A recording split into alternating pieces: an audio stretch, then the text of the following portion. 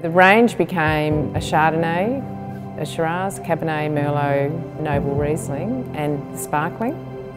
Suddenly we had this amazing ability to make the very best we could across six different wines.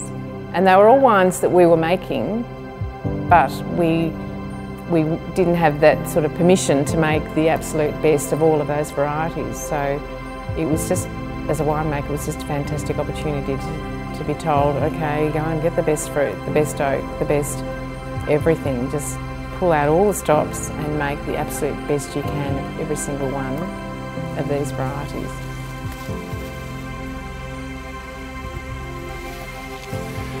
One of the keys to the success of growing Patricia is really having the right vineyard with the right variety. There's a little bit of trial and error involved in sourcing Patricia fruit.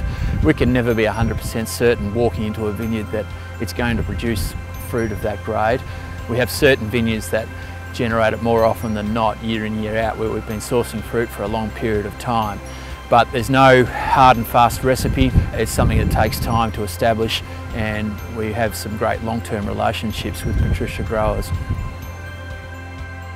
I think when it comes to making the Patricia wines, there's nothing necessarily that's special or unique about our winemaking, but what we really do is make sure we do all the little things really well.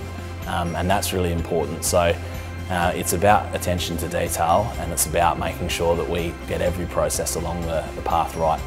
The important thing in the winery is that um, you look after the grapes when they come in uh, as expertly as possible. So we, um, we make use of the kindergarten winery quite a bit. Uh, we have a small dedicated team of cellar hands in here that look after the, the grapes once they're crushed. Um, they're made in sort of small, small fermenters, uh, lots of attention to detail. We select uh, the best parcels of oak that the, the wines, particularly red wines obviously sit in for 12 to 18 months. We select the best coopers we can. Actually putting a Patricia wine together takes quite a period of time. So the winemaking team work while we have one particular winemaker as the custodian for a particular product.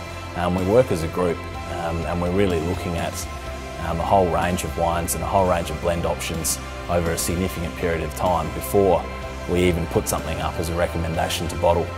Uh, when we go into the competitor tasting program, we're not necessarily looking to emulate a particular um, competitor or, or, match a style.